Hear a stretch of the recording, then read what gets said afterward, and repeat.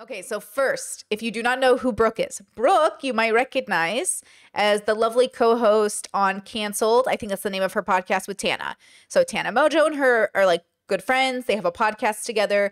And Brooke, you know, according to Tana and other people, apparently is pretty good at staying out of drama. But, you know, it's content creation. We all have drama at some point in our career.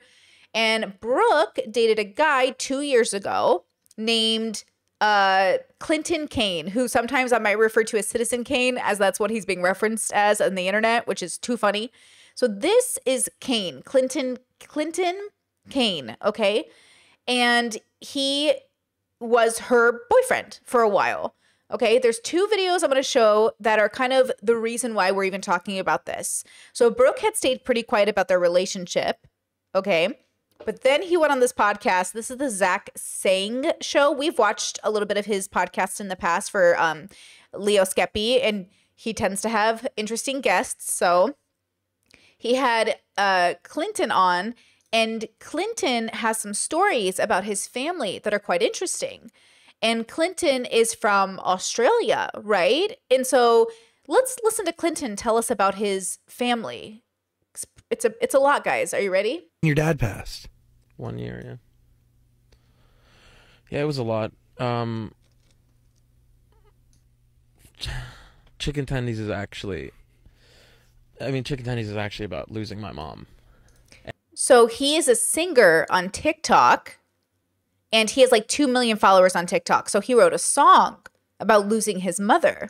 And I had a talk with my publicist about explaining how to explain because I wasn't ready to talk about it le- yet last year about like losing my mom. Um, but she she passed away like two three weeks after the song came out after Chicken Tendies came out. That's why like I had to take a break and there was like a lot of start and stopping. Um, but that song was actually about losing my mom. But I my publicist and I found a way to like make it seem real enough because it's still real, like losing her to religion. But I have. We, we, did you you did you did kind of lose her before she was gone, right? Because you didn't have much of a relationship with no, her. No, no, it was all gone. But it was already complicated before, so there's a lot to unpack there. Yeah. Your mom passed. Yeah. Your brother passed. Okay, so that's the first TikTok. Then here's the second TikTok. More. It was like too much. I couldn't do it anymore. I was like crying all over the place, and I like couldn't hear what was going on. That's terrible. It's the worst. It's, and, and that happened three times. I'm gonna cry. It's so bad. Dan's just laughing. Psycho. You're making me laugh. How am I making you laugh? I'm not doing anything. You're laughing. No, I'm not. It's not funny. Ten minutes into it, I just. Okay, so you kind of got a, a vibe. His music uh, it's kind of um, I don't know how to explain it. But I don't want to play it in case I get copyrighted. But it's very like boy band, breathy. Uh, it's very like kind of genericy sounding. We might hear clips in Brooks' videos. I'm not sure, but I'm not gonna play it in case I get copyrighted. But okay, so you kind of get the vibe for him, right? Just like a little bit. Okay, here's Brooke telling us her story, and um, I'm excited. Because obviously I had my little no, seriously, part one, who the fuck did I marry? I am trying to be a little bit less psycho on TikTok because her volume is so much lower than his was. So I've put it up all the way on my end, and hopefully you guys can hear her okay. I had my little meltdown the other day, and that was probably no, seriously, part one, who the fuck did I marry? Um, I am trying to be a little bit less psycho on TikTok because obviously I had my little meltdown the other day, and that was probably like enough for this week. But when I opened my phone today to a million texts from all my friends of this TikTok that Clinton Kane had posted saying, what did he say? He said, like, when I've been over the relationship for two years and she just can't stop yapping about it, which, first of all, hilarious. Like, no shit, I can't stop yapping. But the nerve. Now, obviously, we broke up two years ago, okay? And that was a very, very different time in my life. I was, first of all, unmedicated, okay? And that is a very, very important factor in this story because I get so many comments that are like, Brooke, what on earth were you going through? And I agree. I really don't know. That was a different girl. Mm-hmm. I was bamboozled. Now, I get a lot of comments about his appearance and the way he shakes okay? and those are two things that I'm gonna leave off limits for my story time because I feel like that's low hanging fruit and it's obvious. It doesn't even need to be addressed. uh, if you don't know what she's referencing, there was like a TikTok where it shows him singing, and he's like very exaggerated when he sings. It's very like I'm a blind man looking for the light. It's very like jerky and very strange, and and it's very he's very like over the top. Believe it or not, that was not even really the problem. The fact of the matter is, I ended up in a relationship with this man because I was a fan, honestly. I knew of him because of his music. I loved his song Chicken Tendies or whatever.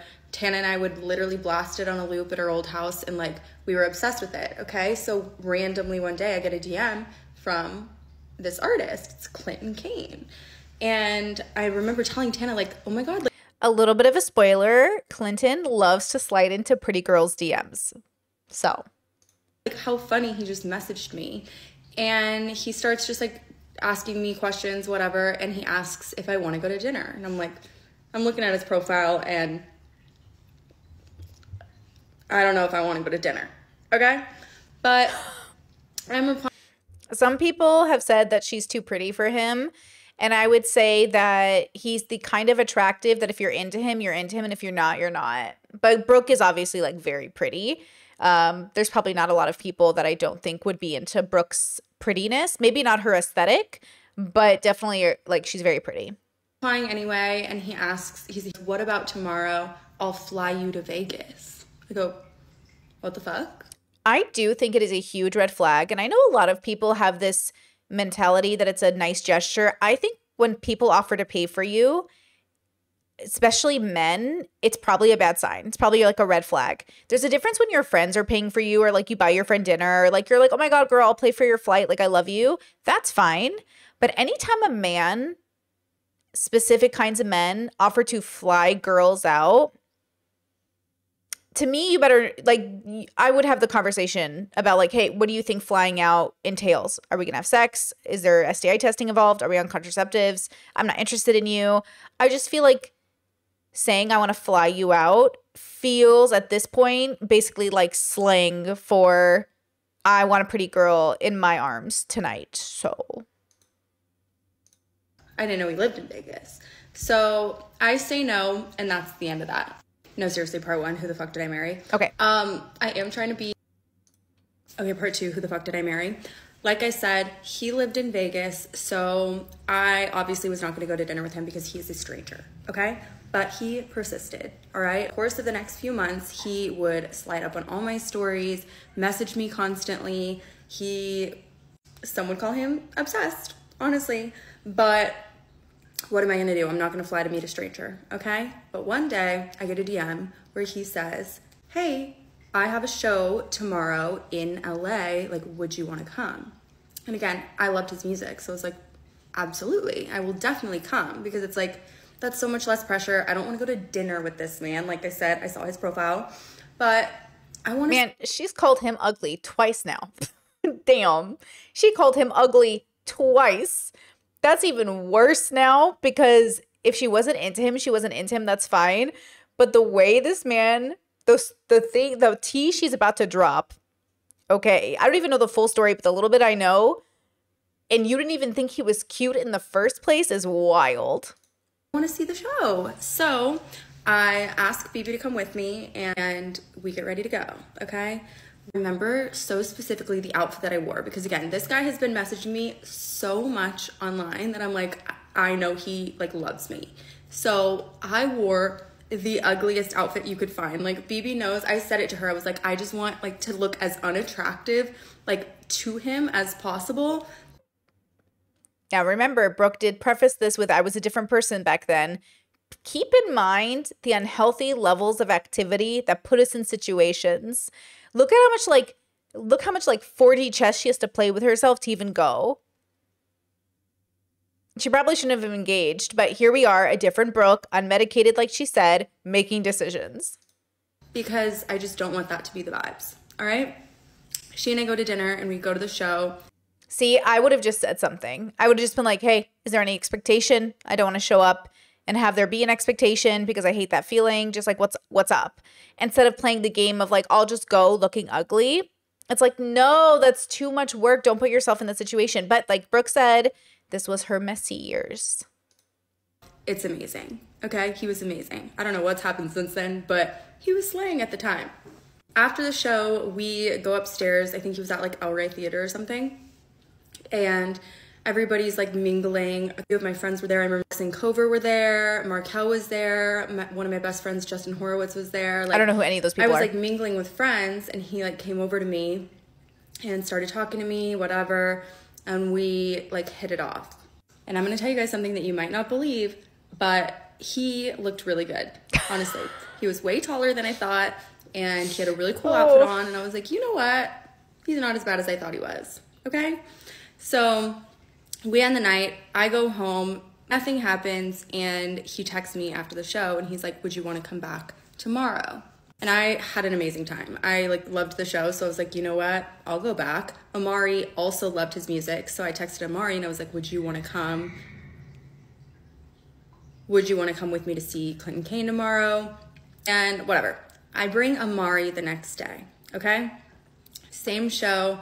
We do the same thing after, and then Amari and I go back on his bus. Okay. And honestly, we had such a good time. Like, we're like cracking up on the bus. We're with a bunch of friends. Amari's having the best time. I'm having the best time. He's funny. He's cool. He's like charismatic. I'm like, you know what? Like, maybe, maybe he's not that bad. Okay? Mm. We all mm. get off the bus and See how her intuition is like maybe he's not that bad.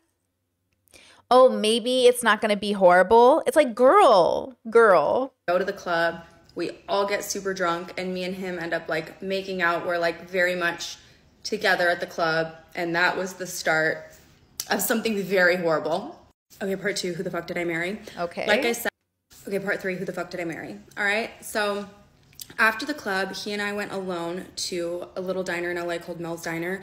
It's 24 hours. You can go after the club, get fries, shakes, whatever and he and I order literally every single thing on the menu and we sit there for like four hours and just talk, okay?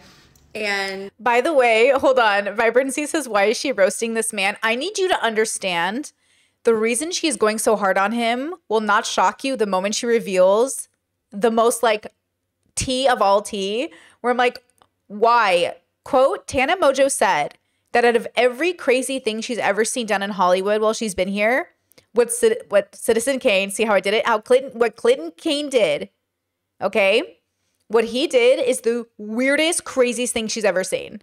Now, we could all argue that, but to be honest with you, it's pretty fucking weird. And I am shook at what he is attempting to pull off. So it will it, it will make more sense why she feels like she can go after him. Not that that's good, but you know. and this is the point where he tells me about what had happened to him in the year prior. All right? This would have been I guess 2020, like during COVID. Okay? Okay. He tells me his mom, his dad, and his brother all died in the same year. Mm. Okay, which is fucking horrible. Like, obviously, just unimaginable. So I'm like blown away. I knew that his mom had died because he had openly talked about like how one of his songs was about her and stuff, but I had no idea about the rest of his family. So I was like, holy shit, first of all. And I feel like I completely changed my opinion about him because I'm like, at this point, I'm thinking he's just like this weirdo sliding into my DMs, and now he's very like human to me because I'm like, oh my god, I cannot believe you could overcome something like that. Like, that's insane. This is very important to the story, okay? Because I need you guys to understand how I ended up in this scenario, all right? Then he starts telling me how he got into music. He's telling me how he was homeless and he would backpack around Europe, like literally sleep on benches and busk, like in parks, to make money. And he got discovered, whatever. And then obviously, I guess I'm in Love came out and he was really successful from that song. But I'm just looking at this guy like I have never met anybody like you because, first of all, I could never be touring a year after like that kind of extreme tragedy for Pretty devastating. I mentally prepare and meditate constantly about my family dying. It'd be, I would need some time. Like, I would need some time just to move through it. Maybe, you know, but this man, wow, he's so strong. He's so brave. The world needs more men like him, you know? I'm being very sarcastic for the autists in the audience, okay? Shout out to my autism. Let's go. Like, okay, my autists. Like, I'm being very sarcastic, but we, the world needs strong men who, in the face of death, rise up to the occasion. You know? I've always said this, you know? first of all. Second of all, you would never catch me dead sleeping on a bench on purpose. So I was like, this guy's really like special.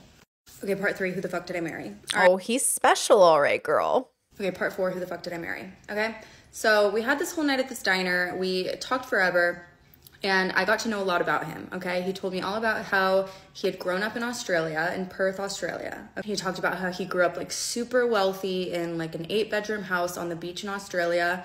His mom was a pastor. He said she was a pastor at Hillsong United, which is like one of the biggest churches, I guess, in Australia. I don't know. He studied medicine, which I loved because I was like technically pre med when I was in college, also. I didn't graduate, but doesn't matter. So I was like, oh my God, we have that in common. Like, this is like a really well rounded, like amazing guy. Okay. And like I said, he doesn't live in LA. So the next night he calls me and he's like, listen, I have a date planned for us. I'm picking you up at eight, whatever. And he does. Okay. We go on this date. It's like a beautiful restaurant, whatever. We have the best time. We talk forever. We go to the beach, yada, yada. I go home. And the next day, he calls me and he says, I am so sorry and I'm so afraid to tell you, but I just got on set for my music video and I tested positive for COVID. Oh. Obviously, I had just like had this whole extravagant date with him the night before. I would 100% have COVID. We were like making out on the beach the whole night, which is like traumatizing but true. Okay, so I'm like, this man gave me COVID. And he's like, there's nothing I can do. I'm so sorry, but like, obviously, we both have it. So I'm quarantining at the one hotel if you want to come and stay with me. So I was like, I mean, like, fuck, like, I have COVID now. I have two roommates. Like, guess I gotta go. I don't know. Again, unmedicated. I show up to the hotel, okay? And I move in with the man. Okay, part four, who the fuck did I marry? Okay? So we had this whole part five, who the fuck did I marry? Okay? So I'm at the one hotel, one of the most beautiful hotels in all of Los Angeles. Okay, it's like several thousand dollars a night for like a nice room. So I'm living the life. We're ordering room service every night. We're like, we're just having so much fun. And I'm like, you know what? Maybe I date this guy. Keep in mind, we are not separated. I'm sorry. I just, I think we've all had those moments where I was like, maybe I date this guy. no. Oh man, no, Brooke, no. thing, so I have no opportunity to view his online presence, all right? Because that is another really important factor to the story. Because had I seen the shaking that was occurring, I might have thought differently. Mm. Okay? But he's in person, he's really normal, he's charismatic, he's Australian, he's a beautiful musician, he's, he's singing to me and playing guitar every night. I'm like, you know what? I'm falling for him. Oh, okay? Oh, I know, but you asked. As more time passes, we eventually move to like an Airbnb in Marina Del Rey because he wanted to be by the beach. And so we go over there. And this man is not Wait, wait, wait, wait, wait. Now, okay, this is this isn't even what I'm waiting for, but wait. So they went from a hotel because they were quarantining for COVID. And then they went to an Airbnb to quarantine, or they didn't literally move in together at this point, right? Right?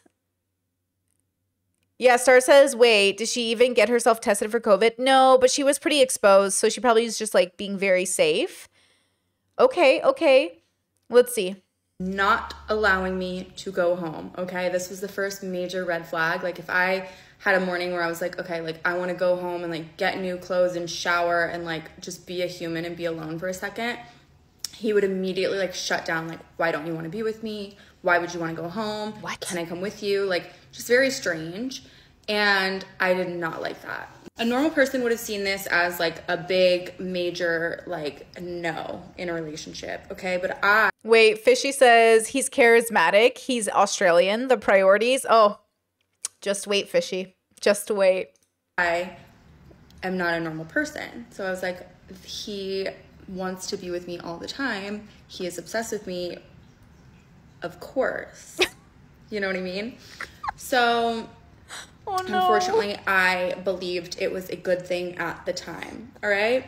And I had a bunch of people in my ear. We really romanticize toxicity. We really romanticize possession. We really romanticize people cock blocking us from our im- priorities because it's romantic. Oh, you have a job to go to? Call in sick, spend time with me. Oh, you have responsibilities? It's like once in a while for sure, but not literally at the detriment of your life, guys. Mm. I had like mutual friends. Like Zach Sang was a really important one too. Okay. So, Zach is the podcast guy I showed you at the beginning. Okay. So Zach is the podcast guy I showed you the beginning, and they're kind of mutuals, and that's sort of how they met as a couple. So basically, even Zach told Tana, like, oh no, like I think I kind of introduced them. And like, let me just, you know, even when your friends introduce you, you don't even know, girl. You don't even know. We were all hanging out together all the time, and when Clinton like maybe wasn't around, I would have these people in my ear like, Brooke, if you do not date this man, you are so stupid. Like, first of all, he's gonna be huge. He's Even Tana said that on a podcast with Zach Sang she was like, We loved him. We wanted Brooke to marry him. We thought he was such a good guy. We thought he was such a good guy. so talented. He's so special. He has like the most amazing story. Like, you have to date him, okay? And one thing about me is I'm easily influenced. So I start dating the man. Oh. Part five Who the fuck did I marry? Also, I don't know how old Brooke is, but if she's Tana's age, she's 25. Like, I assume, I don't know how old she is, but I'm assuming she's in her mid 20s, like Tana. So they're pretty young. They're young people. Part six, who the fuck did I marry? Who, girl? We are now in a committed relationship. All right. And one thing about Clinton is he loved to go on a trip. All right. He wanted to get me as far away from everybody else as possible. Uh-oh. So this time it was Joshua Tree. He's Oh, like, let's go to Joshua beautiful. Tree. Let's just spend the weekend. It'll be so relaxing, amazing, whatever. We can work. Great. On the way there, we get pulled over. In his car, he drove a Model X at the time. And when the cop asked for a license and registration, he gave his license, his Australian license, and he gave the registration to the car, which was not his. Not his car. So I thought that was strange. And then the cop is like reciting his information back to him, and he says, You were born in 1999. And I am under the impression that my boyfriend is a year younger than me, okay? And this would make him like four years younger than me. I'm like, that's really strange. But we keep going, and I ask him about it, and he's like, oh, like, that's a fake ID. I just, like, I got it mixed up. We got lucky. And I'm in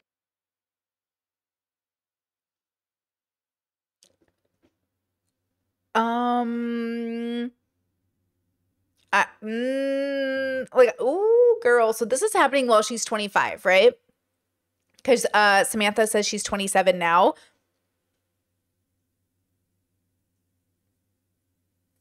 Ma'am, the fake ID, the fake ID. I'm in my head like that doesn't happen, but whatever. Also, who has a fake ID to appear younger? Anyway, we go to Joshua Tree and we have this whole little trip, whatever. We we're barbecuing and hot tubbing and having this whole little couples vacation, okay? And everything is going perfect until the nighttime. All right? And this is when we had our first major blowout fight. All right? I'm It's ready. a very important turning point because our entire relationship was blowout fights, okay? But what's important about Pay attention to the fighting. When people say, oh, it's normal for people to fight, this is like normal behavior, it is not normal behavior. It's toxic and disgusting. Don't yell and fight and demean your partners. Don't do that. It's okay to have disagreements. It's okay to have discussions like you're two individuals. But the name calling, the yelling, the raising the voice, the gaslighting, all of that stuff, that's not love, bros. That's just a toxic relationship. about them is that they were literally out of thin air. Okay? So this one was because we're eating our dinner that we made, okay? Mm-hmm. And I am looking at my phone. Okay? Keep in mind, we're not I'm not at a family dinner. We are on a couples retreat where we have spent every single second together for the past 48 hours. Mm-hmm. Why would I not be allowed to look at my phone? Mm. This is when he proceeded to tell me it's a major, trigger of his for someone to not pay 100% attention to him at dinner time because that's what his mom used to do to him. All right? And his mom was very neglectful. He had a horrible relationship with her and it was really traumatic. Obviously, everything is unresolved since she has died. And so anything that reminds him of his mother is a no, okay? And he went insane. I tell you, I have mm. never seen a man like just pout and throw like a literal tantrum mm. this way. I was like, how do I undo? I cannot be in a relationship with this man. Part six, who the fuck did I marry? Part seven, you guys. He said she can't stop yapping. I'm like, I will show you yapping, okay? so we just had our first major, major blowout fight, all right? And this is when I first found out like how he behaves in an argument, which was like a child. Like literally you could not talk any sense into him. It was so irrational and it was just like like you could not get through to him. There was no like compromise. It was like you just had to apologize even though he was so unbelievably wrong every single time. Oh my god, it was infuriating. And the overwhelming common theme of all of our arguments was that I was worsening his trauma, and he can't believe that I'm so insensitive to everything that he has been through. I remind him so much of his mother, who was so horrible to him, and I should be way more sensitive to everything that he is going through. Okay, first, okay, a couple things. One, she's saying, Who the fuck did I marry? Because that's the connection to the girl on the TikTok. So I think it's a, I don't think she actually marries him. If she does, I do not know that part of the story. No spoilers in the comments. But I don't, I think she doesn't marry him. I think she's using that to refer to the meme, like the the story. The girl we also made, I made a video about this too. The other girl, Who the fuck did I marry? But oh my gosh, this type of personality in a person, I bet we all know one person like this. And it does remind me of, and we're not going to diagnose anybody in this room right now, but it does remind me of like very like toxically like mm, NPD, maybe really toxic BPD, like you know what I mean? And we're not diagnosing because we don't know these things. But when they heighten their own trauma, when they make it all about them, like ev- this, he sounds exactly like that. Oof. And of course, I'm like, I get that. You know what I mean? Like, the man lost three family members in one year. I'm like, he is going through a lot, so I have to give him like a little bit of grace. But it became a situation where I felt like I was like mothering this man. And mm. like, if I did anything wrong or if I like literally split my attention for even one second, he went ballistic because he was like a little infant baby child. Mm-hmm. I want to be sensitive to his situation, but it was so Oh, Sophia says, doesn't Brooke have BPD? Oh, wait. Is yeah, Brooke does have BPD, right? She talked to Trisha about it. Oh, shout out BPD girls, let's go. Oh, she's medicated. I wonder what's helping. I wonder if it's for is she medicated for her borderline? Because I know there's not a medication for borderline. So is she medicated for borderline? She's probably an antidepressant, right? I'm looking into antidepressants for my fibromyalgia. But antidepressants do a lot more. They also help with ADHD. Isn't that amazing? Shout out antidepressants. So it was like way too much for me to handle because I'm already, you guys know, I'm emotionally unstable, okay? And I have no business fixing whatever was like seriously very wrong with him. I would go out Um, even if she was emotionally stable, it's not like you need a professional intervention. Okay. with my friends. Like I remember one night I was at dinner with Tana and he's blowing me up, like literally sending me novels about how he drank an entire fifth of vodka, he's gonna drive. I need to get to him right now, or he's gonna do crazy things. Like it was just so manipulative, and I, and I just like I was not equipped. Part seven, you guys. He said she can't stop yapping. I'm like, I will show you. Part eight, I think. I am honestly not sure. I'm just trying not to spare you any details. So I'm in my relationship with my little Hold on. No spoilers in the chat, guys. Baby man child, and he still lives in Vegas. Okay, so we are technically in a long distance relationship, but we never separate. So either I'm in Vegas staying with him, or he is living with me, or we'd get like an Airbnb in Marina Del Rey, whatever. It doesn't matter. Mm, beautiful. we are never separating. And at this time, his album was about to come out, okay? So, like, he was doing the whole rollout. He was, like, really getting in the zone. And I was just constantly there for, like, all the work that he was doing. And this album was special because it was his first piece of work that he was putting out since everything had happened and since everyone had died, okay? And the whole album Died. died. Died. Sorry. I love the way she said that just now. Um, hold on. Conrad said if she is borderline, there's a higher chance he is a narcissist, and then Maiden agreed, and then I'm going to agree because borderlines and narcissists tend to like codependent on each other somehow. Not that that's very common since there's far more borderlines in the world than there are narcissists. Fun fact. So at the well, diagnosed. So at the end of the day, like we're not sure how those overlap quite, but they do tend to complement one another. album was about that, of course. And as a part of his little press tour, he went on the Zach Sang show. Okay? If you are not familiar, Zach Sang is an interviewer. He does like huge celebrity interviews and he gets really deep and talks about like life and music and everything. Zach is also one of his best friends. So Zach like knows his story very well and he does the interview accordingly. Okay? He's asking like all the questions about his mom, about the funerals, about his brother, about his dad, everything. And he's answering, obviously. And he's talking about how he had to attend the funerals during COVID and he had to do it via Zoom because of like everything that was going on. And he is really just going in in this interview. In his Ooh, hold on. Kenny says Dr. as Dr. Honda, uh, Kirk Honda says, under every narcissist is a borderline. I do kind of believe that. I've read a lot about narcissism. Well, not a lot. I've read like three books, but I've read some up on narcissism, and sometimes they sound like because they pre abandon themselves, like they abandon themselves so hard, it feels like they give themselves borderline. It's not funny. It is. A, it is a crisis of health. Like uh, being a narcissist and PD is a crisis. Of, like that's a mental health issue. That's sad. Um, and as a borderline who's like in recovery, I'm very like I believe in that. Like I believe in people being able to recover. And Dr. Kirk Honda has also worked really hard to help people with NPD. So there are there is there are people who believe they can get better, and I believe I, I want to believe in that too. Australian accent. And the interview comes out.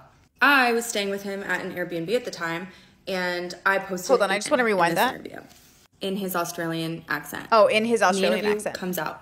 I was staying with him at an Airbnb at the time, and I posted a TikTok with him in it. Okay? And in my comments, I started getting girls going, uh oh, like, not him. And I immediately was like, wait, what?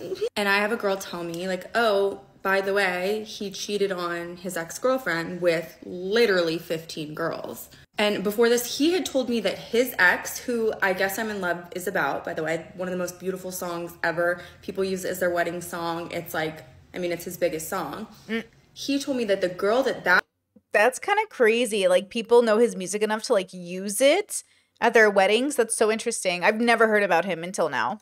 that was about had cheated on him. Okay, so this was news to me. And I asked him about it. I'm like, Did you cheat on her? Like, it was the most nonchalant thing in the world. He was like, Uh, well, yeah. I'm like, Ooh. Excuse People are way too casual out here, okay, about their cheating habits. Y'all are way too casual. Y'all are way too casual about it. Excuse me? Part eight, I think. I am honestly not sh- Part nine. I'm having so much fun. Okay. So we just found out that he cheated on his ex girlfriend, who I guess I'm in love is about. Okay. Beautiful love song. You can't imagine that he could possibly do something bad to her, right? Wrong. He was cheating on her the whole time. All right. And what I realized when I really looked into it is I was one of the girls. Because, like I said, Oh my God. he has been messing She was one of the girls like he was cheating on. Oh, that is so much more interesting now that I know what's coming up. That is so much more interesting considering I know what's coming up. Oh, I'm so excited. I'm learning new things too. I'm so, this is, humans are so interesting. This, messaging me constantly for the last year, like literally sliding up on every single story I post trying to fly me out. When he tried to fly me out to dinner that time, they were actively in a relationship. oh my God. So I'm sick because first of all, I feel like I somehow had like a part in it and I felt disgusting about that and just the fact that like I could never have imagined that he was like capable of doing something like that because of how like romantic he was and like what a love bomber he was. I was like I I what on earth do you mean? but he's a master manipulator. So he's, you know, he's telling me like I was so removed from that relationship long before we broke up and I should have just called it off and I would never do something like that again. And they were long distance. Like she lived in New York and he lived in Vegas. So it was like they really didn't spend a lot of time together. Well, well, hold on. Oh, so where does he does he live in LA now or does he live in Australia? Because he's Australian, allegedly. And wait, so where does he live? Does he live? Oh, this, by the way, Brooke. I don't know if you guys remember. Brooke is the same girl that dated Matt Rife. Brooke has not. To be fair, she's in her twenties, but she's not picked the greatest people, which neither did I in my twenties. But she dated Matt Rife, and Matt Rife is the guy who made like a derogatory, basically comedy skit about her. And he's like very derogatory because she, it's a whole thing. I won't get into it. But that's so Brooke has now two very narcissistic or egocentric people. But I think I think Matt is probably more egoistic eh, or like in his ego. And um it sounds like what's his name? Citizen Kane is much more pathological because it gets worse. together and like somehow the way that he described it to me made it seem like less bad. It was horrible. I get but it. But I didn't let it go and that was at the top of my mind okay? And again we're staying together. So the next morning i'm in bed with him when he is on a call with his manager mm. all right? And he is begging his manager, telling him, whatever it takes, I need you to have that interview deleted. Oh and he's talking about the Zach Sang interview that I referenced. Oh, earlier, girl. Okay. And I am like, what's going on? I hadn't seen the interview yet, but Zach's one of our best friends. Like, I was like, like what could possibly be in this interview that is so bad that he wants it off the internet. But you know, like Clinton's telling his manager, like, I don't care, like just get it down. So in bed next to him, I get on my little phone and I go to the interview and I start to read the comments. Oh, And in the comments, I see someone write, This is really strange. I don't know where this Australian accent came from. He is not Australian. He is from Brunei. I grew up with him. I went to school with him. And I saw his mom last week. Part nine. I'm having so much fun. Okay. So oh, girl, the comments, girl, the comments. Part 10, we have reason to believe that he is A, not from Australia, faking an Australian accent, and B, he faked the death of his family. Oh, no. oh I love it. Oof, girl. Mm, I wish I had a joint, girl. I wish I had a joint. Oof. Ooh, how do people? How do people? How do people? Mm. Okay? And like I said, I was still mad about the ex thing, so I staged this whole fight and I get the fuck out of there, which was not easy. Okay, so we've got a cheating, chronic cheater, liar, removes her from her friends and family, allegedly fake, uh, oh, a fake, oh, faked ID, and then allegedly, possibly lying about his family dying. Oh, and being Australian. Sounds like an upstanding citizen. easy to do, okay? I don't get to leave. Remember? I go home and I get on my computer so fucking fast and I look up his mother, okay, which I've never done before. Oh. She has a very specific name. Yo, what did I? Okay, can I say something? I'll say it again. I know this sounds crazy, but I think I dated so many like losers in my 20s that I realized, okay, I need to figure out why these people allegedly hate their parents, don't have a relationship with them, or like like ex- like uh, like intense stories people tell about their lives. Like if you have too many crazy things happen to you in your life, you're either picking chaos or you're lying about it. Something is a red flag. And so, girl, the way this boy had a story after story after story, it'd be like three family members in a year. How did it happen? What are the details? Is there a new story about it? But I get it. I get it. all right? And I looked her up on Facebook. She has two accounts, okay? Oh, And on neither of them has she posted since the date that she was supposed to have died. So, in my head, I'm like, okay, it's possible she's dead. But it's mm-hmm. also possible that she is not, which, like, you guys. But here's the thing, okay? He had told me so many stories about his childhood and his mm. life growing up and told me all about his mom and what she looked like. She was Norwegian and blonde, Okay. He would tell me about what his house looked like and how they had nannies and maids. And he was so wealthy. And I'm so sorry. Fishy just said all of this for a guy she originally thought was mid. Yo. and his mom would leave for months at a time because she also had like she had all these like crazy businesses in addition to her being a pastor. Like i don't even know how in my right mind i like did not see right through this but mm. he would tell me all these elaborate stories. And now i'm looking at her facebook profile and his life was nothing of the sort. Oh. Okay, I I can see the house that he grew up in, uh, in Brunei, by the way, not at all in Australia. Keep in Girl. mind, I live with this man, and he has a fucking Australian accent. His mom is obviously Asian, as is he. Which, like, why would you lie about that? It's such a strange thing to lie about, and just I could just everything Okay, but you know what's even crazier than a guy faking an accent from the day, like the day you started? Is you marrying somebody who started faking an accent basically after you were together or recently in their life. Alec Baldwin's wife literally pretended to be Spanish for like 10 years. She's not Spanish. She had Spanish nannies growing up, or she like grew up in Spain or something. And she literally would be, she got featured on a magazine cover for like Latinas or something. And people were like, um, you're not this thing. What are you doing? And Alec just married this woman and stayed with her, which I, I understand, like, but at the same time, that's what I don't what is happening? Like, what is happening?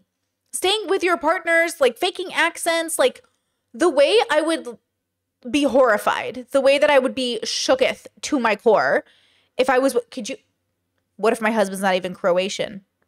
Just kidding. I've met his family, okay? But you know what I'm saying? Like, what? Like, that would be so disturbing. I would feel like I was living with a serial killer, even if he wasn't one. I'd be like, I'm living with a psycho. I'm living with a literal psycho who fakes a whole orientation, identity, accent, family history. It would feel psycho. was fake. So while I can't immediately tell that she is alive, I can tell that he is a extreme pathological liar. Part 10, we have reason Okay. to believe Part 11, you guys, I now know that my boyfriend, who I've been with for several months, who I spend every single waking second with, has literally completely fabricated every single Ugh. detail about himself. I know nothing, nothing about him. And as like lighthearted and like funny as I can make the story now, like I cannot explain to you like what I felt in that moment. It was mm. Genuinely the worst feeling I've ever felt in my entire life because it was Ugh. like like I I've never been obviously lied to in that way, but like I spend so much time with this person. He's my best friend. I'm in love with him. I am dating him. Like we are he's the closest person in the world to me and he made himself up. And just like my nature, it's impossible for me to get rid of somebody. So I I knew like obviously what I know, I have to break up with him and I didn't want to. So I was like Ooh. Like what the fuck do I do? I know that sounds so dumb coming out of my mouth. That now. sounds crazy, girl. Like mental health is real, but look at the way we make excuses for people. I am amazed. Like, look, I understand on a spectrum, everybody kind of lies or tells a white lie, but I mean it when I say, like, I do not lie about, about people. And do you know why I don't lie about people? Because it is too easy for us to one, lie about ourselves, or two, lie about other people. And then all of a sudden we're making up accents. Okay, like do not lie about people but especially don't lie to yourself but don't lie about people i do not lie about people people are so willing to spread rumors and lie about people and this is what i'm saying is so interesting about this whole situation because wait until you hear what his reaction has been to all of this coming out because it's even more obvious that everything is true but even more than that he didn't just impact you know 2 million fans or something, or his family that's alive, or Brooke, but all of his friends and his own reputation. Why would he do it? What about his own reputation? Like, this is the internet, my boy. It's gonna come out. So, what do you think makes a person get on the internet, get 2 million followers famous on TikTok, and then think this is a good idea? Now, of course, he could have had such a traumatizing past with his family that he recreated his identity so he doesn't have to associate himself with his family anymore. Maybe he was so mentally sick. Maybe he was in such a toxic bubble growing up that he decided to make up this whole story so he doesn't have to relive it. But can I be honest with you? That's crazy. No matter how much you've been victimized, recreating your life, including your, you know, origin of birth and all of these other things, it's, it's too much. And the chronic cheating on top of that, he's probably the problem. I bet his mother's the nicest little woman in the world. now, but it was like I knew that if I had the conversation, I had to break up with him. So I was like, I wasn't even sure that I wanted to have the. I almost wanted to just like pretend I didn't know. Again, I was unmedicated, but I did text him and I said, "Listen to me. I'm gonna give you the opportunity right now to tell me if there's anything that you've lied to me about at all." And he racked his brain for all of five minutes before he told I'm so sorry. Before we hear what he said to Brooke, Hannah said, I wonder what a conversation between Legion and Cl- Clinton Kane would look like.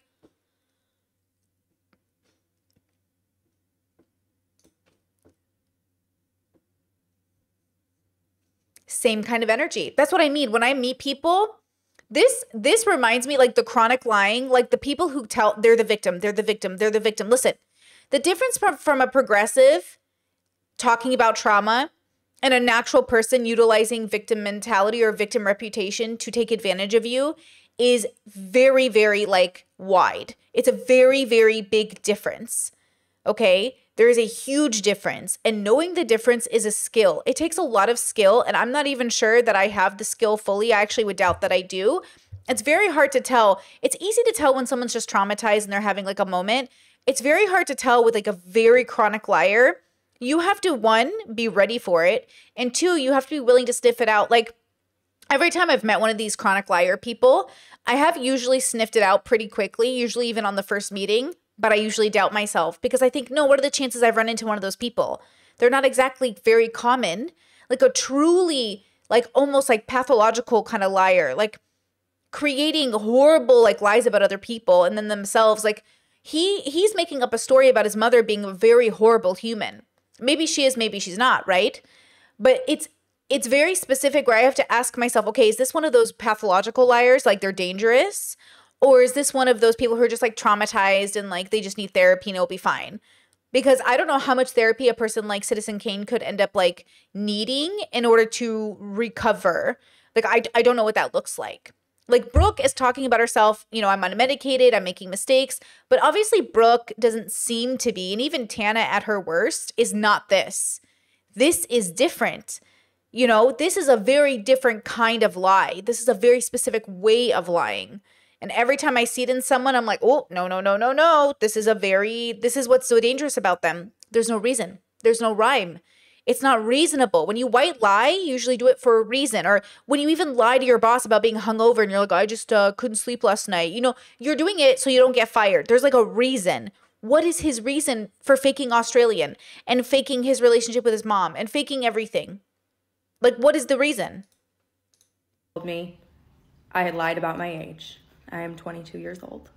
All that, and the only thing he wanted to admit to was that he lied about his age. Wow. Part 11, you guys. Which is crazy, by the way, to lie about your age. Uh, That's just, that's the only thing he owned up to. Cool. See how he, he's like, hmm, I should own up to one of the lies so I look innocent. Which lie should I own up to? Okay, part 12, get to the point. I confront him, obviously. I show up there the next day and I'm like, listen to me. This is what I know. You need to explain yourself right fucking now. And when I tell you this man is so good at his job, you guys, because here's the thing I'm here accusing a man of faking his mother's death, okay, with no hard evidence. I have evidence that he lied about like the conditions in which he grew up, but I'm not sure that she's alive. Mm. So I can't like with full confidence like come at him in that way. So I'm kind of hoping that he just like confesses and he doesn't. He made me feel so fucking horrible for ever possibly accusing him of lying about something like that because who would ever lie about something like that? And I felt so disgusting and so guilty and I like I literally could not. I thought I was going crazy. And here's the thing. Mm. See? I because you feel bad. You're like, oh my God, how could I accuse somebody of doing this? Like, you do. You feel so bad even having that thought that somebody could be so crazy. But there is, the, you got to go with that intuition like, hey, something's going on. Like, what is it? That's that's what that's why the gaslighting is so easy because like it's hard to it's hard to think so weirdly of people. I don't want to even say badly, but it's it's very strange to think like, hey, has the person I've been living with like who are you?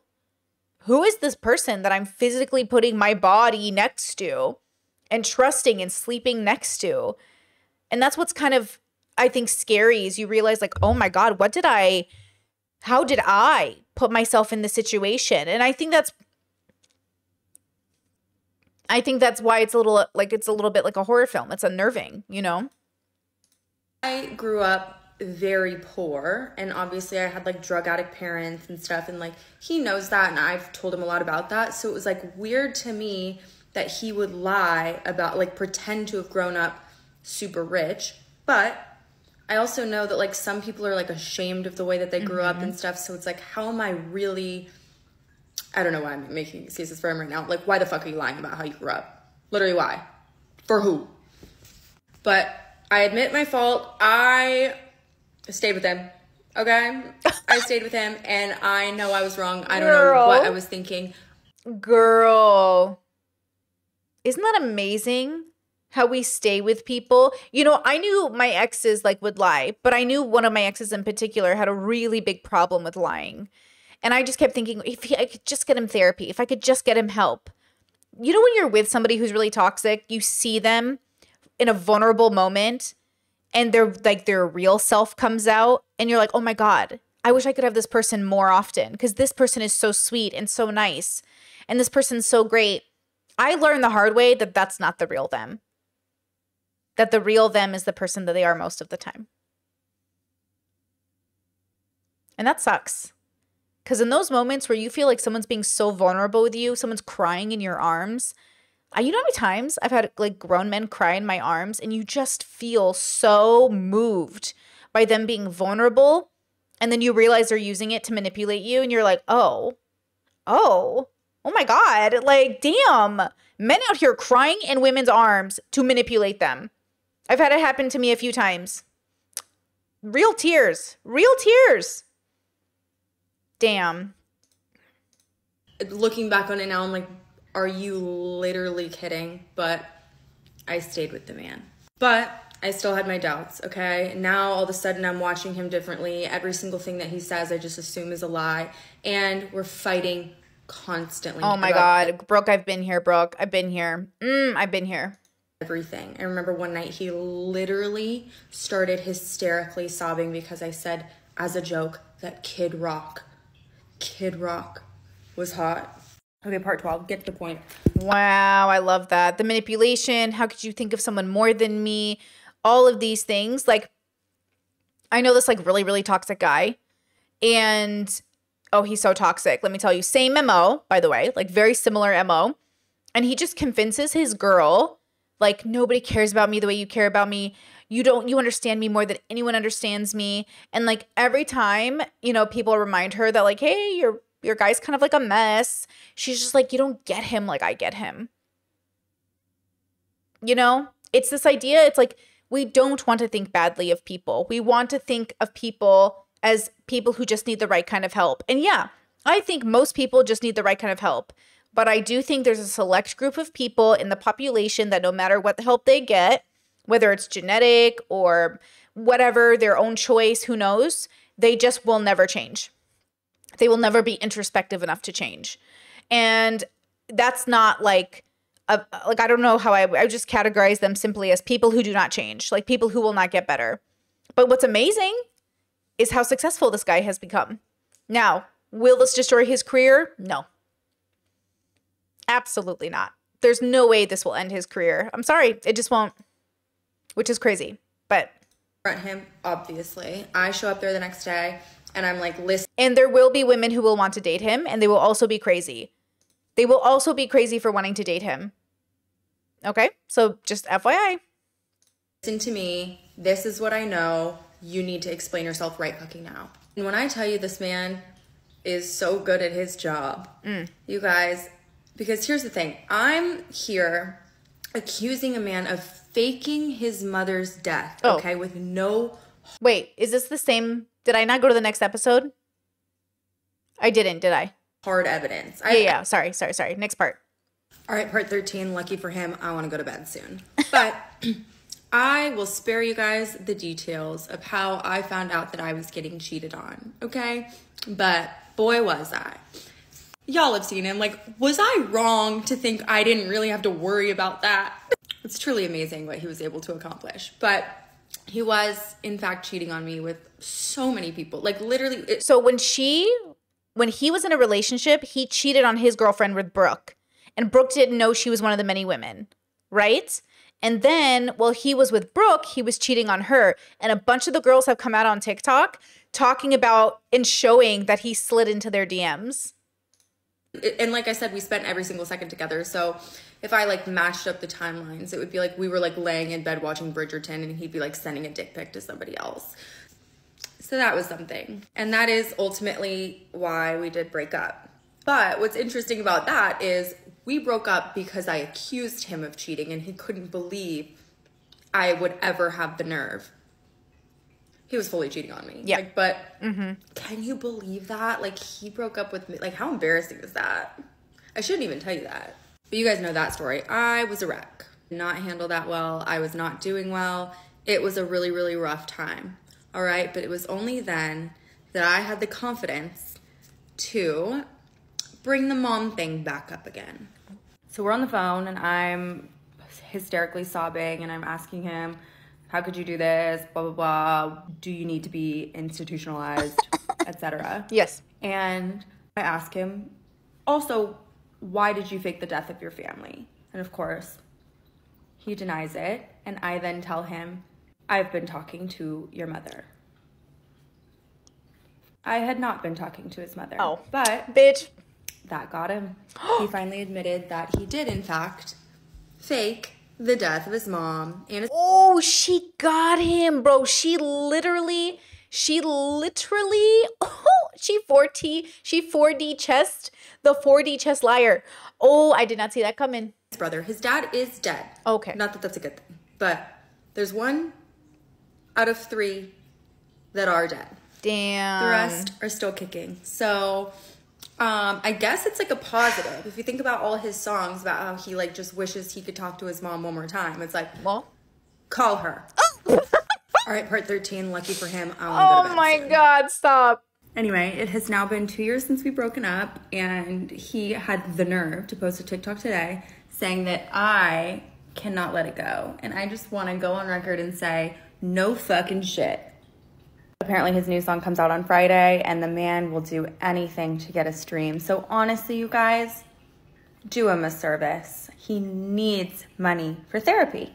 And if you take nothing else away from this story, just know that treating um, underlying mental health conditions is very important because had I known what was wrong with me, I would have never gone near that man to begin with. Anyway, it has now been two years since we broke That's up. That's crazy. There's a lot of people asking. like, So okay, the comment says maybe slowly being the key uh, keyword years even. He clearly doesn't have an accent at all during most of that interview. Zach knew something. well, did his accent ever like go in and out? Like, did you ever notice that he like didn't have an accent? And truthfully, he never, almost never had the accent with only me. Okay. Girl, girl. Like he would turn it on when my friends were around or when we're at dinner with people or whatever, and I was like, okay, slay. But like you know, he's a performance artist, but I didn't really think that much of it because obviously like I'm American and I just figured like he was like mirroring me. Sometimes if I felt like he was really being irrational, I would record our arguments because I'd like to show them to him the next day. He knew I did this, by the way. This is not illegal. Um, and you can, there's just nothing Australian about him. I'll Wow. let you be the judge. It's uncomfortable. You can say it to fucking anyone else. You can go with Tana and say it. When I'm in that room, you don't. Because I'm saying it right now, I'm uncomfortable. You want to keep saying I'm. You want to keep saying things I'm uncomfortable about? Keep going. I'm just gonna be like weirded out. I'm gonna be like, oh wow, That's crazy. Something I brought up to my girlfriend that I said was uncomfortable. She doesn't acknowledge it nor respect that I am uncomfortable about it. And she doesn't want to she doesn't want to stop saying it, even though it doesn't demoralize her personality or her or her value. You literally No, don't it even know what It that doesn't means. demoralize your personality. What are you even talking? What? What? What are you talking about? Here we go. Turn off. That is not what Here we means. Because a lot of people ask me, like, well, did You know, it's interesting. I almost hear a slight accent, but not Australian, if that makes sense. Jenny, Jenna's, Jenna says, when you start recording arguments, it's over. Bro, it's over. Once you're recording, it's over. The toxicity is there, bro. We're doing a haul? Okay, so then she just goes into her regular content. Okay, I just want you to hear like a snippet of his music, just so you hear the sound of the way he sings, but I won't play it for very long. Hearts don't fit, even if we love so hard, we know there's no coming back. Okay, so like that's his like like that's that that's the song like that's how his music is, you know what I mean? Like that's his okay. So that's his vibe. Now, let's see if I have it here.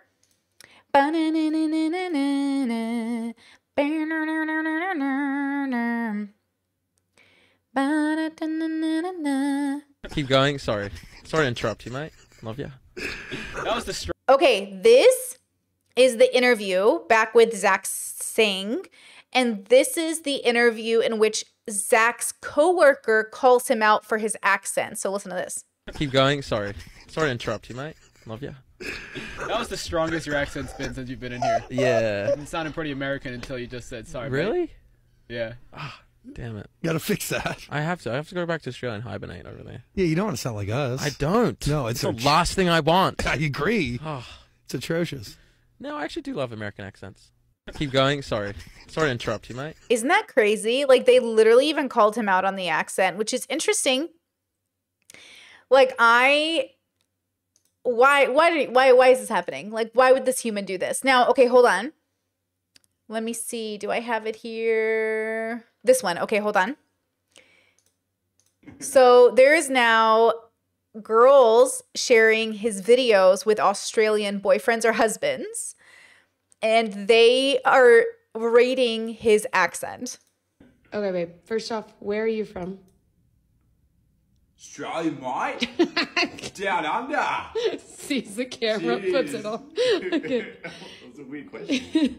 Well, tell me where you think this person is from based on the voice. Three years? Four years?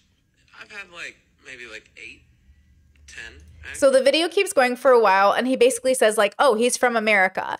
And then this couple has turned it into like a whole series of like figuring out where his accent's from. So obviously, he's allegedly not even from America, but he's got like an American accent. And then, okay, so this is a video he put out as re- like a reaction to all of this, okay? So his reaction to all of this is It's time that I finally address all of the rumors. It's time that I finally address all of the rumors.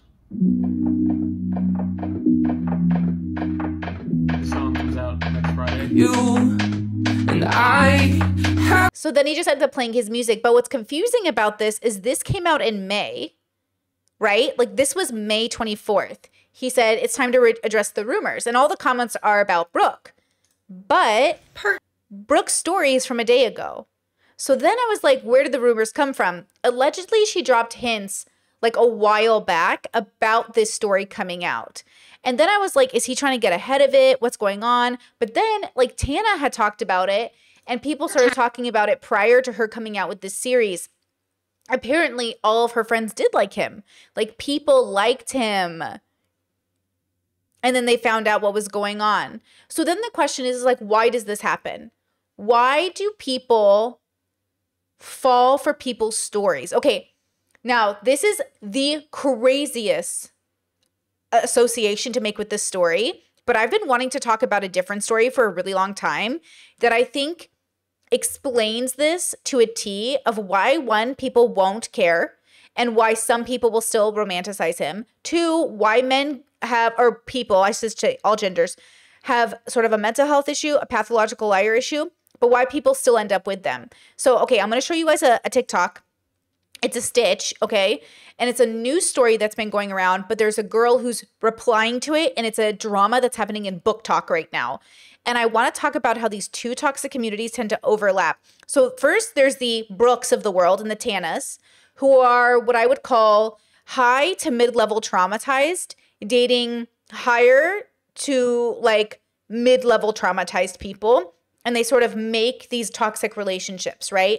Like Tana had two very prominent toxic relationships that I can think of. Um, the girl, I forgot her name, and Jake Paul.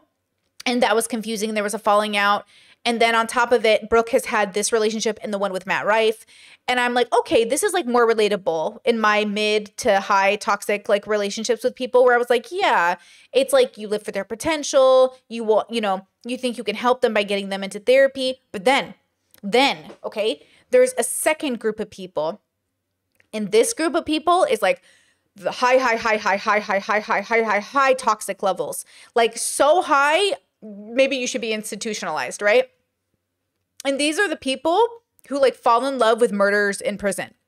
Okay, these are the people that like romanticize incredibly toxic men because they're good looking or because they have a thing they like or that is sexy and they make excuses for their bad behavior no matter how bad their behavior becomes. So you know how we just covered Dr. Disrespect, a man who at the when he was in his mid 30s had an inappropriate messaging back and forth with a minor and his wife didn't leave him allegedly and then even prior to that had cheated on her and she didn't leave him which is you know maybe she's staying for the money who knows but more than that look what the very high high high high high high high high high high high toxic bubble is going through in, related to BookTok okay this is just okay forewarning like trigger warning like girls okay do you know this guy's face at all hold on before i show you this hold on before i show you this here i'll give you How do you know? Wait. I'll give you a rundown, okay? So just like get ready. This this face, okay? This face. Obviously psychopath. Like I'm looking at him and I'm like dangerous. If I saw this man, I would run. I would run the fuck away. Yes, he's got conventionally attractive features. And it's not his tattoos that make me run away, it's his fucking shark eyes. It's the deadness of his eyes. Look at those eyes. Look at those vibes. And you know how many girls are looking at him right now and like, I can save him because he's got somewhat conventional features? The tattoos can be like explained away. Plenty of rock stars have tattoos. Post Malone has crazy tattoos. Post Malone looks crazy. He's the nicest little bean. This man right here, his dead eyes, watch this. How do you know Wade Wilson?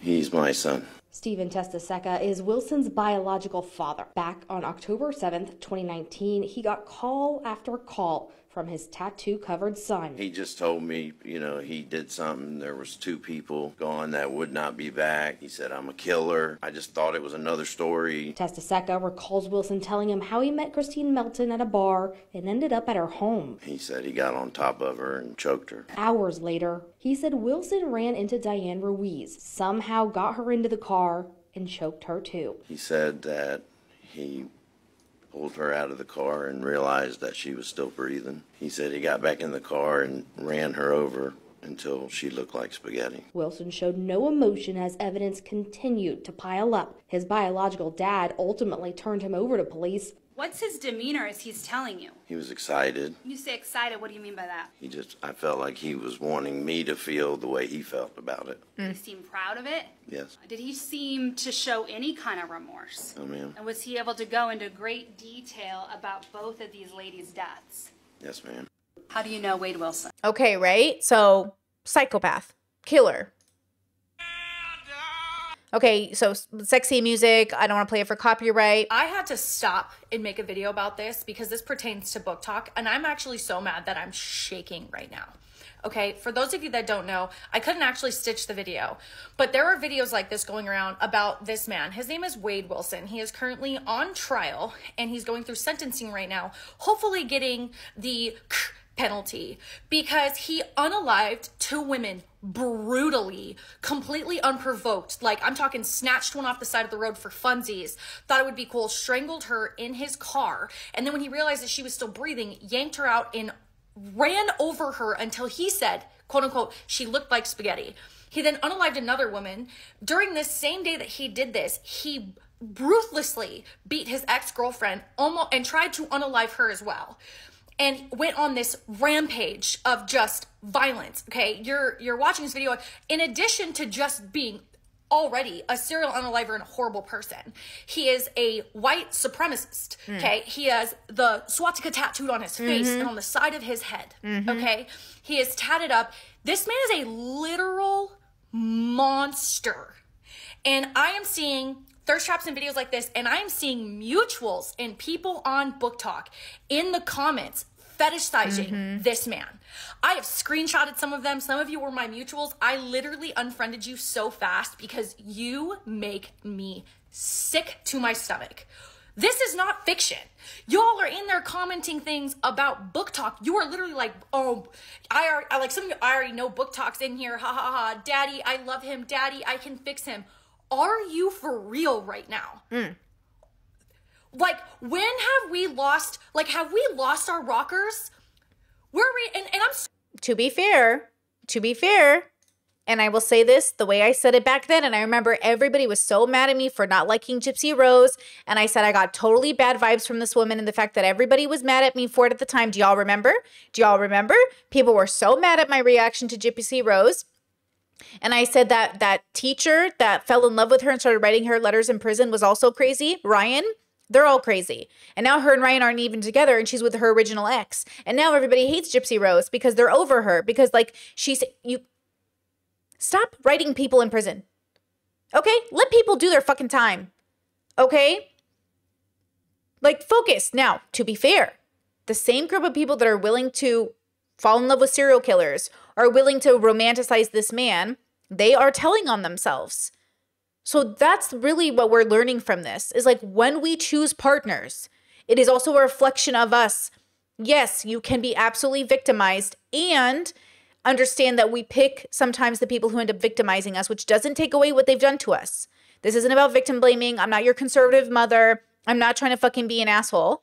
Okay, I'm literally saying the same women that are romanticizing this killer are women that are sort of like telling on themselves. They are telling on themselves. Okay? sorry. Some of you are like, oh, my books. Oh my gosh, tell me this isn't what we read. What books are you reading on BookTok or in the romance genre where any one of the characters would ever do something like that? One. Two, are you seriously that immoral? These are real people. These are Mhm. real victims with real families. This man is on trial right now for doing this to people. And his own dad, the dad I just showed you, he turned him in. Shout out to that dad, because I know that must have been hard, but he turned his own son in. And he said he's been having problems since he was a child. He's probably a psychopath. Like he's probably genetically predisposed. Like he, this is probably hugely genetics at play. Let's be real. Right? If he's been having problems since he was a kid. Like, I'm so mad. This is not BookTok. This is not my BookTok. If I see any of you in the comments, I'm going to drag you so hard. I'm screenshotting every single one that I'm seeing because that is so gross. And this is why. This is why BookTok is a bad name. And it's the same people that are probably commenting these disgusting, like, sexual harassment stuff in guys' comments, like, ooh, but my book, and like, knock it off. Y'all I love that. Knock it off. Knock. That's such a mom thing. Knock it off. All right. have lost the like you've lost your minds and it disgusts me. You are not BookTok. You are not anything associated with BookTok. I want nothing to do with you and i can tell you right now a vast majority of this community is going to be saying the same Mm. exact thing. So literally please leave. See yourself out. Absolutely not. You should seriously be disgusted with yourself that is all Get it together, people. Love her nails. Shout out. Love the passion. It's not about BookTok or whatever bubble or who or Brooke or Tana. It's about acknowledging that there are going to be people in the population that are going to go together. The question is, do you go together with these people? And I think that's the hardest thing for us to introspect about is to look at the people that we choose and wonder. You know, I was just watching Trisha and Jeff Wittek on Trisha's podcast. Honestly, one of the best podcasts Trisha's done in a really long time. Like sometimes she just has like this really great chemistry with her guests and it's really, really good. And her and Jeff were really vibing together. I haven't finished it, but it's so good so far. And just listening to Jeff and Trisha tell stories about David and everybody, they knew. They knew it was bad. But they also believed there was a goodness in David. There was a goodness in that group. There was a goodness there. But they know. Even Trish is dropping hints about knowing stuff about people in the group. And I'm like, I believe it. People suck. But people suck because of a lack of morals and values. They don't know what they think is right or wrong. There are so many people right now who are even talking about Dr. Disrespect. And a lot of people who used to defend him strongly are like, fuck, I can't defend him anymore. And then some people are still doubling down and defending him. Look, you know, there's a difference between a mistake and a decision. And Citizen Kane over here, what's his name? He's making a decision. Okay? Like this kid's making a decision. And he made the decision to lie about his family dying, to lie about his origin, to lie about so many things, to cheat on people. This is why I say the reason serial cheating or cheating in general is bad is not because, like, you know, oh yeah, I cheated in my early 20s and I'm a reformed person. Like I always say, ABBA has a really great video. Shout out to ABBA, has a really great video about the time he was the bad guy. ABBA calls himself the bad guy in his video about cheating. He's like, I was the villain, basically. He deeply regrets it. I don't have any idea in my head that ABBA would cheat on a future partner. First, this was a very long time ago. It happened one time. And when he talks about it, he makes it clear that he is the villain in the story. When Dr. Disrespect, when other people talk about chronically cheating, they're the victim. It was a mistake. I was insane. You just don't understand how stressful it was. I was feeling alone in my marriage. I just, I, I couldn't. Excuse, excuse, excuse, excuse, excuse. This is the difference from somebody who has morals and somebody who doesn't. Somebody who knows themselves enough to understand, like, they made a horrible decision. Abba didn't call it a mistake. Abba said, Yeah, it was the bad guy. I did a horrible thing. Right? And that's the difference. So when we look at serial cheaters, the reason why it's so bad is because you did it again and again, or you're lenient towards it, or you make excuses for it. And then you wonder what else are you capable of? If you're willing to physically cheat on your partner or even emotionally, you're willing to gaslight and lie to them. What else are you willing to do? Now, look, Brooke was never physically abused by her partner, but this was abusive. To lie, manipulate, and coerce somebody into a relationship with you under such false uh, uh, pretenses is so unethical. This is not what we want for society. This is not good for society. This is bad. This is bad. I think this does relate to women fantasizing over really toxic, toxic people. And I also think it's important to recognize like, do you know the difference between fantasy and reality? Stories are exaggerated explanations about life, but they are exaggerated. They are literally exaggerated so you can relate them to your life, not so you can mimic them. And I think that that's where we've lost the plot. Like we have forgotten that even Leave It to Beaver was an exaggerated example of the nuclear family. It is an exaggeration. It's not reality. So, you know, they say life is stranger than fiction. I think for this reason. It's exaggerated. Even the good stuff is exaggerated. So I really think we need to be more aware of that. Crimsicle says after 2020, I feel like younger people don't see the divide in real life and fiction online things as much as before. Like it was an issue, but not to this degree. I think I have to agree with that as much as I want to say it's not true. I think millennials were the last generation that really understood like there is a huge difference between fiction and reality. Yeah, I think so. I don't I don't know how Gen Z is doing, but you know, Crazy says it shows his character being able to objectively look at himself as the villain. Reasons like that are why I really like Abba as a human. Yeah, Abba has a really good sense of character. And I think that's why I do like him. Now, of course, I don't know him outside of the couple times, you know, we've you know, we've interacted on stream. I've met him in real life. He was really lovely.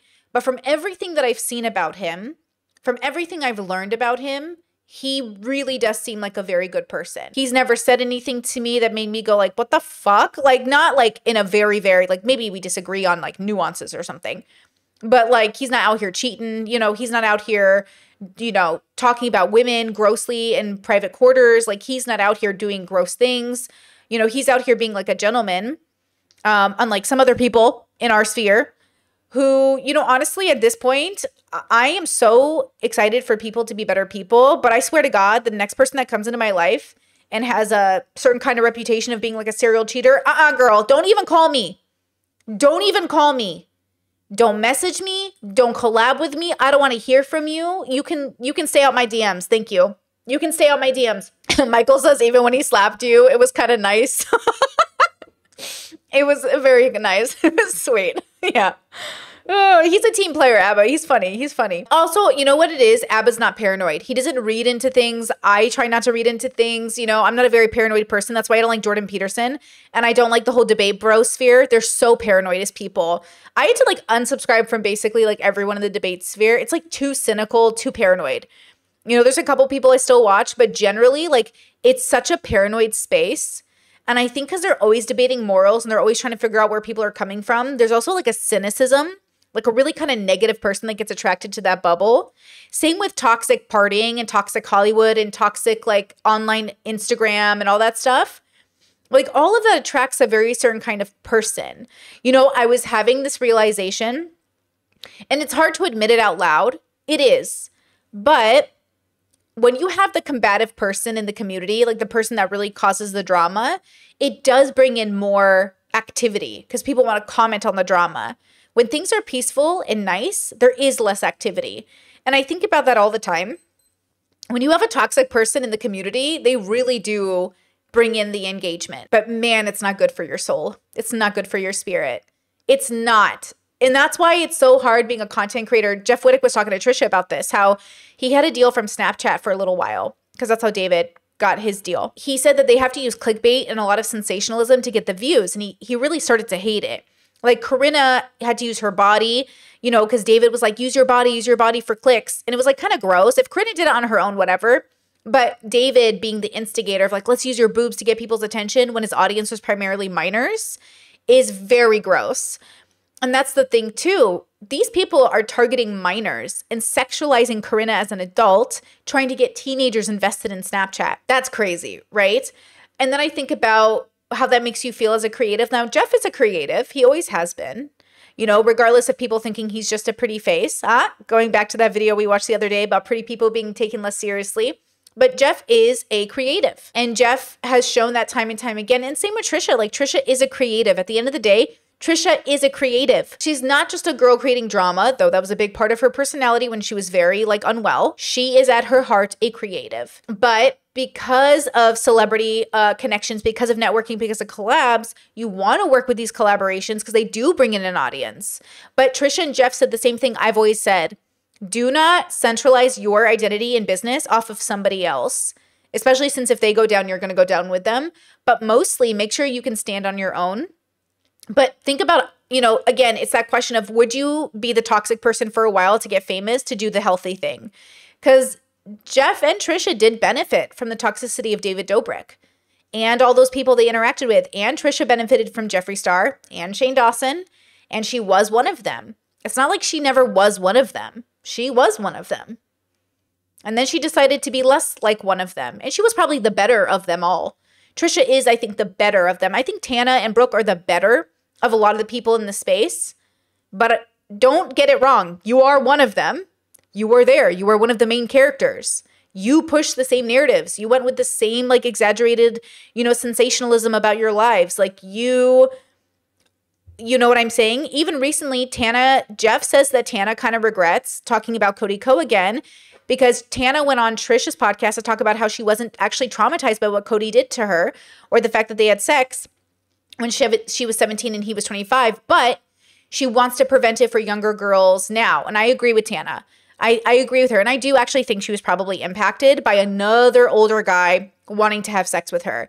I think the trauma isn't just from the instance it happens, like the the one moment, but it's an it's it's adding on to the layer of another older guy trying to have sex with a young girl. Another guy who knows her age and is willing to have sex with her, regardless if it's legal in Canada it doesn't matter to me. The idea is that Cody was 25 and he knew Tana was 17. And the fact that he was interested in her is the red flag, right? And so I think I, I'm I'm glad to see Tana doing better and Brooke always doing better and like Trisha doing better and Jeff doing better. But let's not get it confused. You were one of them at one point. Okay. That's why I tried to tell you guys I was toxic in my 20s. And I'm telling you, you don't have to be in your 30s or 40s or 50s or 60s But to say that you weren't toxic is to not acknowledge like where you were at that time. And that's why I say, like, I know I was toxic in my 20s because I was willing to be in those relationships. I know I was toxic because of the way I was acting. I know I was toxic. I certainly wasn't healthy. It's about owning it so you can be better. And I feel like people sometimes don't own it enough. They kind of put the blame on the other people. But I think a lot of them are doing the work. I've heard Trisha definitely take acknowledgement of it and definitely say, "Oh, I've I've been toxic," you know, and I think that's important. It's like Dr. Disrespect saying, um, he called when he cheated on his wife. I don't know if you guys saw my new edit for the post I just posted, but I added in some more videos. Because if you watch the stream, you're seeing me live, but when I put up the clips, I add more context for viewers in case they miss the stream. And Dr. Disrespect, when he initially cheated on his wife, literally fake cried and went, oh, mistakes, man. Oh, fucking mistakes. He called it a mistake. And then he cheated on her again by DMing a minor. And what did he call it? He called it a stupid mistake. He goes, I'm not the same guy I was all those years ago. You sure about that? So this guy, this Kane guy, Clayton Kane, whatever, I don't know what story he's going to spin to his viewers. I don't know what story he's going to spin to the internet, but there is going to be a person out there who hears it, who sees everything Brooke posted and still slides into this guy's DMs. And I think that's so human, I guess. I don't know. My head, in real life, I'm in bed. My belly's being fed, and I'm okay. I'm just fine, yet all I do is whine. Not to you in my mind, cause I know I don't make sense. I've been nothing but blessed. So why's my life a mess? Please tell me, cause I'm sick of thinking. Yeah, I'm sick of reaching out for the truth and living life as a fool. Dun, da, da, da, da, da, da, da, da, da, da, da.